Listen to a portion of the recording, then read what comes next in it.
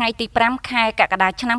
2019នៅភូមិប្រងិលឃុំប្រងិលស្រុកភ្នំក្រវាញខេត្តពោធិ៍សាត់មានធ្វើពិធីដាំដើមឈើ9កក្កដាក្រៅមតិបតីភាពលោកខុយរីដាអភិបាលរងនៃគណៈអភិបាលខេត្តពោធិ៍សាត់ពិធីនេះក៏មានការនិមន្តចូលរួមពីព្រះសង្ឃតំណាងមន្ទីរអង្គភាពនានា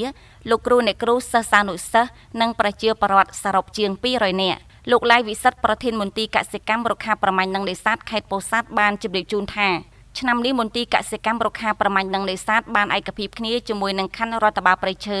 ជ្រើសរើសយកទីតាំងបឹងសំដែកឃុំប្រងិលស្រុកភ្នំក្រវាញធ្វើពិធីដាំដើមឈើតាមសំណុំពររបស់អាជ្ញាធរភូមិឃុំ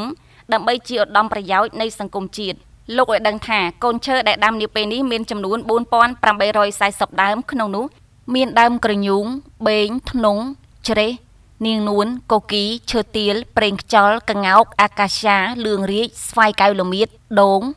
និងកូនឈើប្រមាណជាង3000ដើមទៀតសម្រាប់ចែកជូនដាំតាមវត្តអារាមសាលារៀននិងទីសាធារណៈលោកខូរីដាអភិបាលរងនៃគណៈអភិបាលខេត្តមានប្រសាសន៍ថាការដាំដើមឈើនៅទីនេះគឺមានបំណងធ្វើឲ្យគម្របបៃតងមានសោភ័ណភាពល្អ និងជាមលុបដ៏ត្រជាក់សម្រាប់ប្រជាពលរដ្ឋយើងជ្រកកោនជាពិសេសគឺជួយកែប្រែបរិយាកាសធម្មជាតិសម្រាប់គោរពបូជាអេកូទេសចរនៅទីនេះឲ្យកាន់តែល្អប្រសើរថែមទៀត។ ពិធីបុណ្យរុក្ខទិវាដែលកំពុងប្រារព្ធធ្វើនេះមានអត្ថន័យនយោបាយនិងមានសារៈសំខាន់ណាស់សម្រាប់បំផុសស្មារតីមហាជនឲ្យបានយល់ដឹងអំពីគុណប្រយោជន៍ប្រៃឈើព្រមទាំងក្រើនរំលឹកប្រជាពលរដ្ឋយើងក្នុងខេត្តពោធិ៍សាត់ទាំងមូលឲ្យជួយចូលរួមក្នុងការដាំដើមឈើដើម្បីជាសុភមង្គលនិងសេចក្តីសុខចម្រើននៃប្រទេសជាតិយើងសម្រាប់បាននៅគោលនយោបាយវិស័យប្រៃឈើរបស់ជាតិជាពិសេសចលនាដាំដើមឈើរបស់ពលរដ្ឋម្នាក់ម្នាក់កុំគប្បីចាត់ទុកការងារដាំដើមឈើឡើងវិញ និងការការពារសម្បត្តិព្រៃឈើធម្មជាតិថាជាភារកិច្ចដ៏ឡែករបស់ស្ថាប័នណាមួយឡើយផ្ទុយទៅវិញវាជាភារកិច្ចរបស់យើងទាំងអស់គ្នា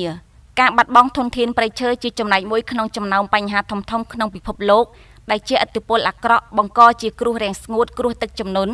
ការបំរែបំរួលអាកាសធាតុដែលធ្វើឲ្យប្រជាកសិករជួបប្រទះផលវិបាកក្នុងការប្រកបរបរកសិកម្ម។ បុណ្យរុក្ខទិវាគឺជាការដង្ហែតាមព្រះរាជតម្រិះដ៏ខ្ពង់ខ្ពស់របស់ព្រះករុណាព្រះមហាវីរក្សត្រនរោត្តមសីហនុព្រះវររាជបិតាជាតិខ្មែរព្រះបរមរតនកោដ្ឋនិងសម្ដេចព្រះមហាវីរក្សត្រីជាទីសក្ការៈដែលព្រះអង្គតែងបានយកប្រតិយទុកដាក់ជាអតិភិបដល់បញ្ហាប្រៃឈើនិងការដាំដើមឈើដែលជាអាយុជីវិតរបស់ប្រជារាស្ត្រ ការចូលរួមយ៉ាងកុះកររបស់បងប្អូនជនរួមជាតិយើងនាពេលនេះបានបង្ហាញឲ្យឃើញពីការគ្រប់គ្រងពីគ្រប់មជ្ឈដ្ឋានមហាជនហើយចំពោះចលនាដាំដើមឈើនេះគឺជាកិច្ចដ៏ចម្បងដែលផ្សារភ្ជាប់ទៅនឹងសេចក្តីត្រូវការដ៏ចាំបាច់ក្នុងជីវភាពរស់នៅរបស់ប្រជាពលរដ្ឋក្នុងការប្រកបរបរទទួលទាន